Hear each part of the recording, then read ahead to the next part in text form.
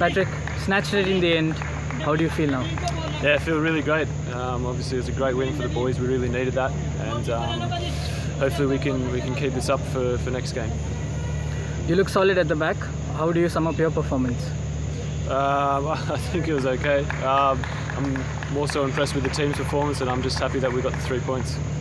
Got the three points tonight, but do you see any areas that you need to improve on?